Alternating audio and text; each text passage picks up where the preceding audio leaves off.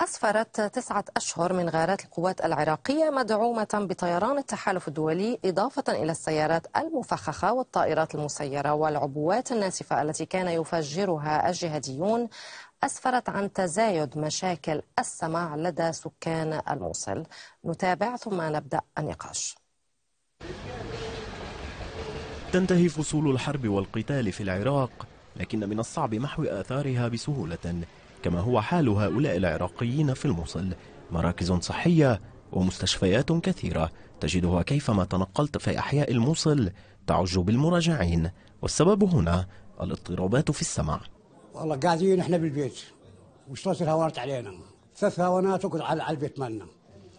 ما توقعوا على البيت مالنا اسمع لي راح. بعد ما اسمع ما ذاك لو قلت له كنت أتعالج. وفوق ذا شملنا بالطيارات هم هم تضرب الطيارات وهذا وكل شيء ما أسمع. من الصعب إحصاء أعداد من تضرر سمعهم أو يعانون من الصم الكامل في الموصل نتيجة القصف والتفجيرات. كل الشواهد تدل على ذلك. عدد المراجعين أكثر من 2000 شخص وأغلبهم هذول هم نتيجة الظروف اللي صارت من الانفجارات والأصوات العالية اللي صارت نسميها ال acoustic trauma. وطبعا نحن وزعنا لهم كل كل من على يعني سماعة واحدة معينة سمعية على على تخطيط السمع اللي هو يكون نجري لهم. هذا الطالب العراقي حالفه الحظ ولم يخسر حياته بعبوة ناسفة أو بقصف جوي أثناء محاولة الجيش العراقي التخلص من مقاتلي تنظيم الدولة. غير أن تضرر آذان محمد نتيجة الأوضاع يعقد حياته على يعود الهدوء إلى الموصل يطوي أبناؤها صفحة قاسية مرت عليهم.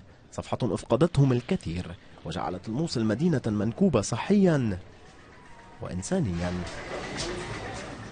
وللإضاءة على هذه المأساة الإنسانية ينضم إلينا من بغداد الدكتور حر عامر سلمان رئيس اللجنة الطبية في منظمة داري. مساء الخير دكتور حر وأهلا بك. وطبعا مشكورين على جهودكم في هذه المنظمة بالتأكيد الكثير من الجهود تبذل في سبيل طبعا حماية يعني المصابين في الحروب في منطقتكم. أود أن أبدأ معك بسؤال. هل كان من الممكن تفادي الأضرار التي لحقت ب طبعا حاسة سمع الآلاف في الموصل خاصة أن التقارير تفيد بأن المئات تعرضوا لنزيف حاد ولم يتمكنوا من الذهاب إلى المستشفيات لعلاج هذا النزيف. صحيح. مساء الخير عليك وعلى جميع المستمعين. أحب أنه أفصل الحالة اللي تخص اضطرابات السمع إلى قسمين. القسم الأول هو صار أثناء أثناء النزاعات أو أثناء الحرب. والقسم الثاني ما بعد ما بعد النزاع أو ما بعد الحرب. طبعا إحنا ما راح نقدر نتفادي هذا الشيء لأن أصوات القذائف، أصوات الطائرات، أصوات الصواريخ والمتفجرات وغيرها هذه يعني شيء طارئ أما ما بعدها ممكن أنه نقدر نتلافى.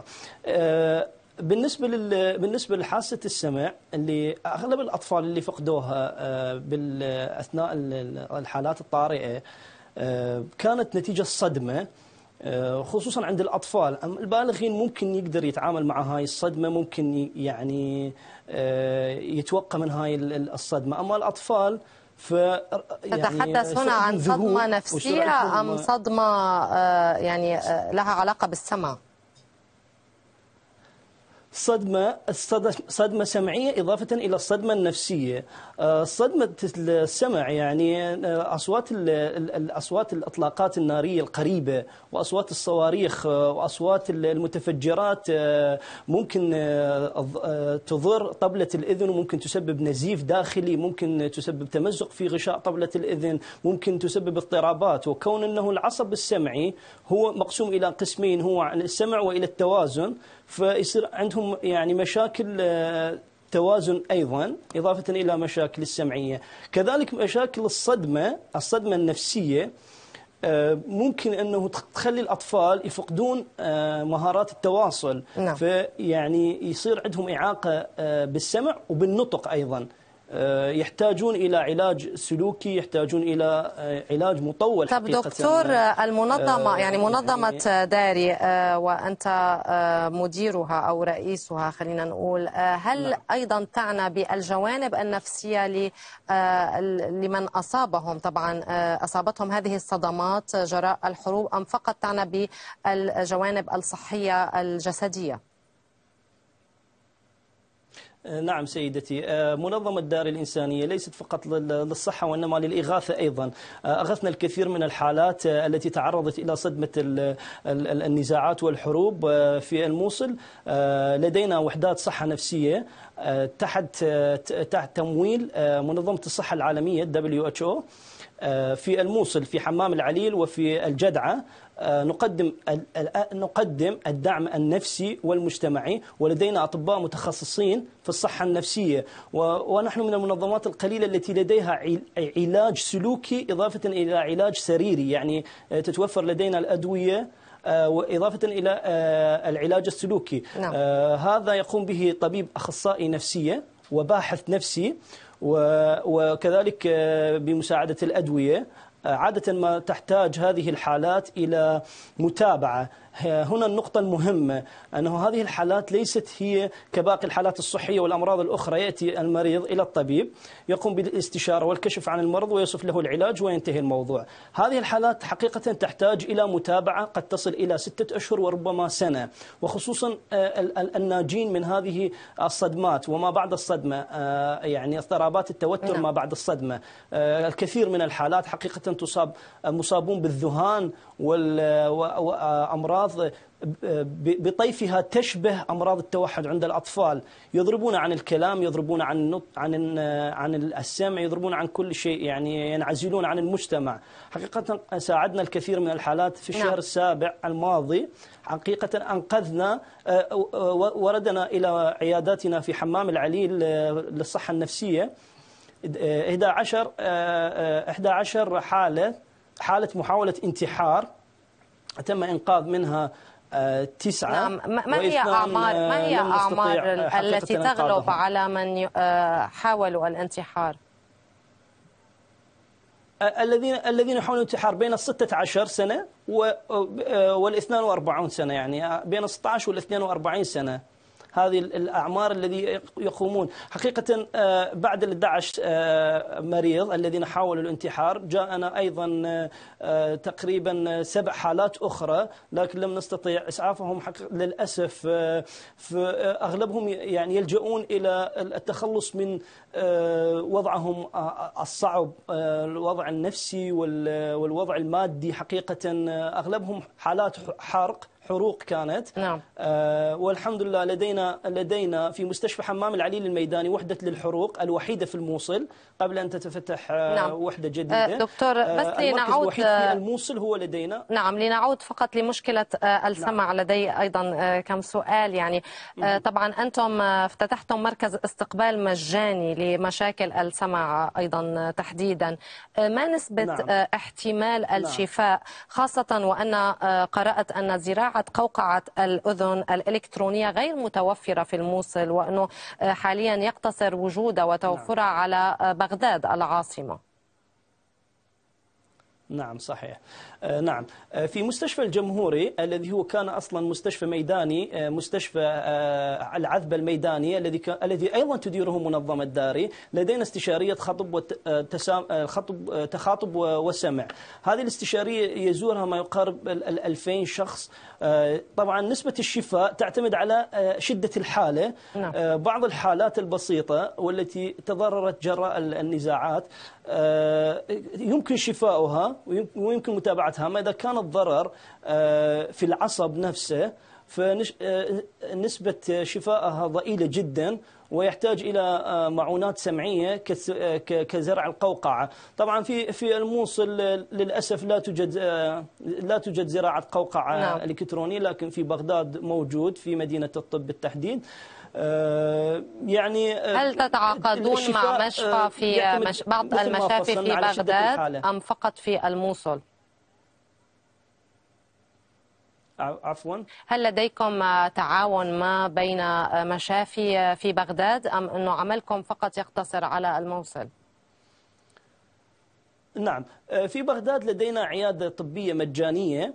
تقوم بمساعدة الفقراء والنازحين من كل مكان في العراق. لكن لدينا تنسيق مفرد يعني منفرد.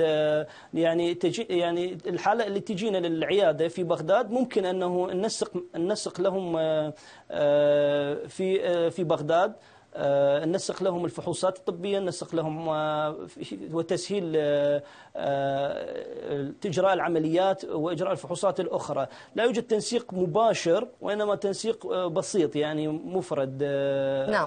بالنسبة لهذه الحالات لزراعة القوقع وباقي وباقي الحالات. نعم. دكتور حر أرجو أن تبقى معنا. نذهب الآن إلى الزميلة رانيا الدريدي وتفاصيل أكثر عن أثار الحرب الجسدية على مواطني الموصل. في التاسع والعشرين من حزيران عام 2017 صمتت المدافع وتوقف القصف في حرب الموصل بعد أكثر من تسعة أشهر من المعارك الطاحنة.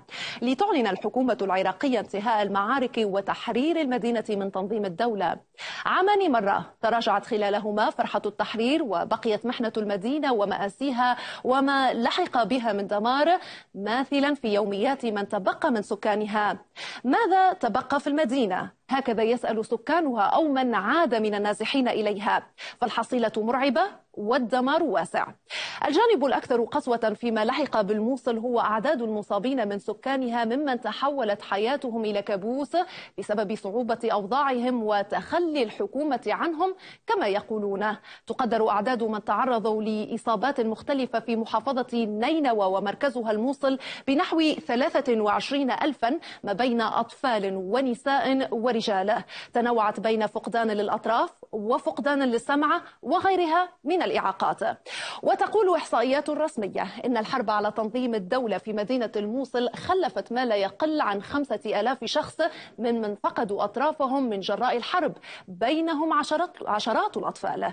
منظمة الصليب الأحمر الدولي في الموصل تقول إن أعداد المصابين المسجلين في الورشة التابعة لها لصناعة الأطراف يقدر بنحو 850 وأن الأعداد في ازدياد مشيرة إلى أن 70% من الحالات المسجلة هي نتيجة الحرب على تنظيم الدولة وأن 30% هي نتيجة إصابات سابقة ويقول الطاقم الطبي العامل في هذه الورشة إن المنظمة زودت 600 من فاقد الأطراف في نينوى بالأطراف الصناعية اللازمة لمساعدتهم على الحركة وتدبر شؤون حياتهم وأن هناك مئات آخرين ما زالوا ينتظرون دورهم.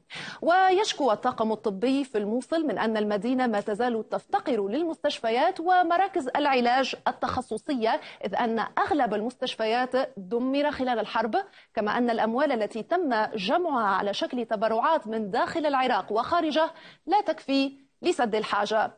هذا جانب متأخر من الفاتورة التي دفعتها الموصل فأعداد القتلى خلال الحرب قدرتها بعض المصادر بما يصل إلى 11 ألف مدنية كما يربو عدد من تركوا منازلهم هربا من المعارك على المليون شخص. شكرا للزميلة رانيا. إذا آه، دكتور حر يعني أود أن أسألك منظمة داري الإنسانية طبعا لا حكومية ووجدت آه، بسبب ربما الفراغ آه، الذي خلفته مؤسسات الدولة والتقصير خلينا نقول لدى الجهات المعنية بهذا الموضوع ومواضيع أخرى طبعا. وأنتم تجمعون التبرعات من المقتدرين ومن الأعضاء أيضا. يعني أين هي الحكومة نعم. من كل هذا من كل ما يحصل؟ وخاصة أنه الأرقام مرعبة ألف سرير فقط لقرابة مليوني شخص يعني في الموصل وحدها. نعم.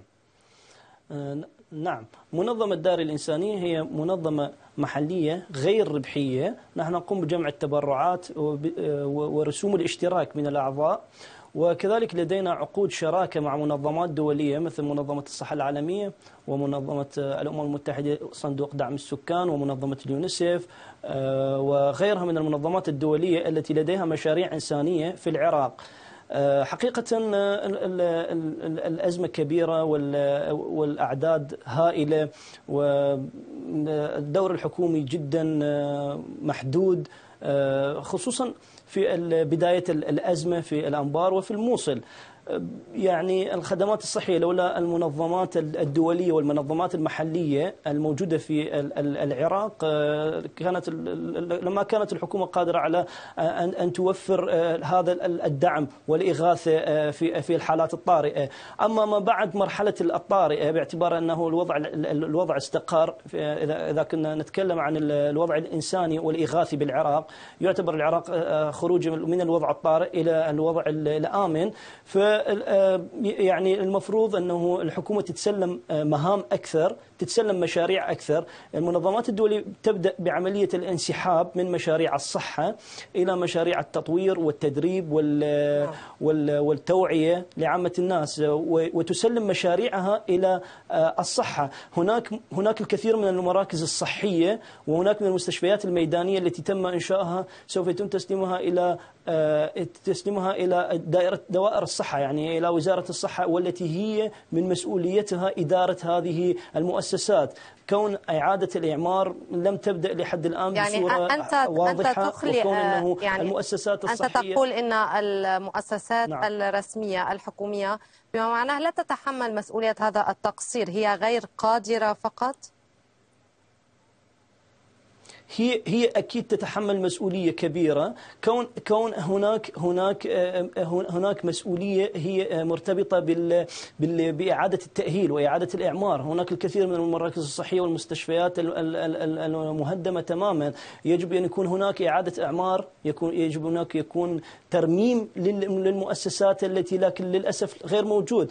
مما اضطر المنظمات ال- الدولية والمحلية إلى إنشاء مواقع بديلة لكنها بالطبع آه، ليست آه، كالمواقع الأصيلة والثابتة آه، التي كانت آه، التي كانت آه، تشتغل في هذه المناطق. على سبيل المثال هناك آه، مراكز صحية آه، آه، في في في في الموصل وفي الأنبار آه، محطمة. عملنا آه، مشاريع آه، جديدة آه، بنظام الكرفانات بجانب المركز الصحي البديل. نعم. آه، ال- ال- ال- ال- المتهدم. هذا يحتاج إلى مسؤولية من آه، هذا يحتاج إلى مسؤولية آه، وزارة الصحة ودوائر الصحة بتحفيز إعادة الإعمار وتشغيل ال- ال- ال- المراكز التي تحتاج إلى ترميم فقط. وهناك أيضا قلة في الكوادر الصحية في في الموصل خصوصا يعني لدينا مشاريع كثيرة نعاني بوجود كوادر وخصوصا يعني كوادر التي تخص نعم. التأهيل النفسي وال- نعم والتأهيل البدني و- والأطراف الصناعية. الطبية في منظمة داري. كنت معنا من بغداد. شكرا جزيلا لك.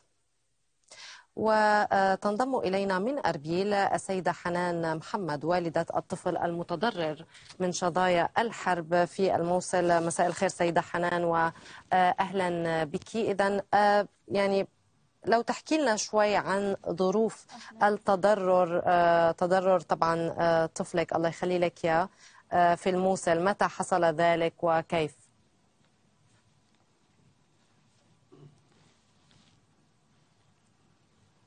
والله حبيبتي وقت ال- التحرير الموصل. إحنا كنا بجانب الأيمن.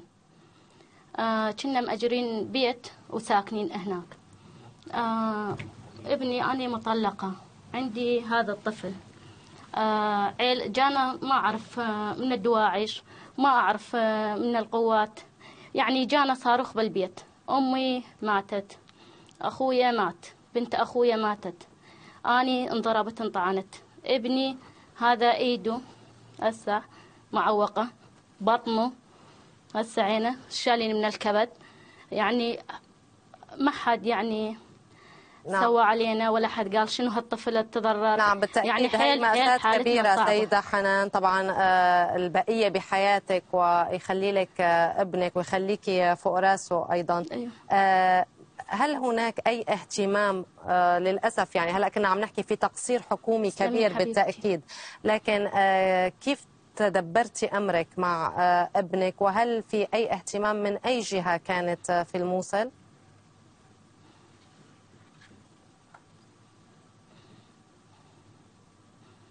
لا والله ماكوش من أي جهة من الموصل والله دبرت نفسي أني أشتغل منظمة راتبي ثلاث ورقات. كل ما أستلم أروح أطبب ابني. نعم. هذا الشيء. نعم طبعا آه، آه، أنت اليوم في أربيل وليس في الموصل. كنا عم نتحدث مع الدكتور حر عامر سلمان وهو رئيس اللجنة الطبية في منظمة داري. يعني منظمة داري هي منظمة غير حكومية وتعمل على آه، أيضا ليس فقط آه، العلاج وإن ليس العلاج الجسدي فقط وإنما العلاج النفسي أيضا. ما في أي منظمة شبيهة ممكن أن تحتضن آه، ضحايا طبعا الحرب في منطقتكم؟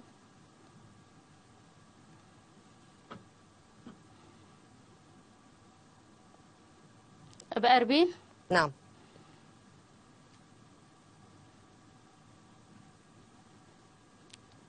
إيه بأربيل تكفلته منظمة قنديل. سووا له عملية شالوا وتر آه، من رجله خلوه بيده بس عمليته ما نجحت. نعم بس هل فقط. نعم هل في احتمال عملية أخرى نفسيا؟ كيف ابنك نفسيا عم بيتقبل آه، الحادث آه، طبعا المأساوي والمؤسف اللي حدث معه؟ آه، هل هل استوعب نفسيا هذه الكارثة؟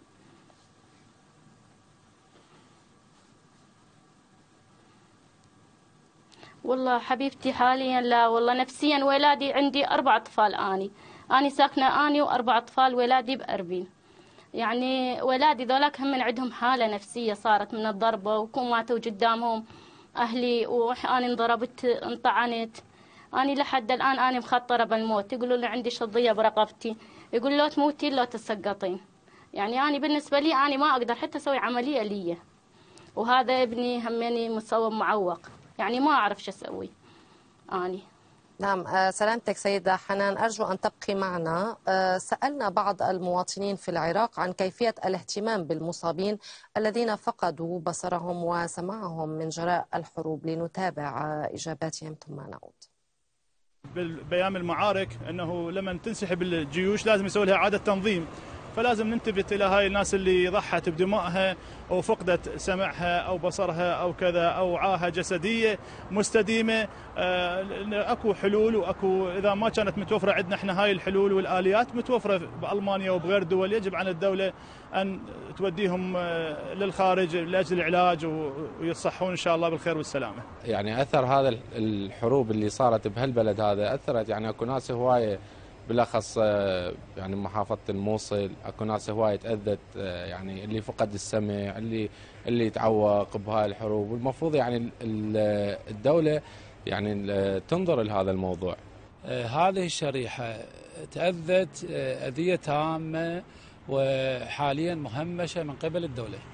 فيجب على المسؤولين الدولة الاهتمام بها في هكذا شريحة. آه، سيدة حنان آه، قبل أن أختم آه، مع حضرتك آه، يعني الهوى لك. فأي رسالة بتوجهيها لأي منظمات دولية أو حكومية اليوم شو اللي بتنتظريه آه، بوضعك الحالي؟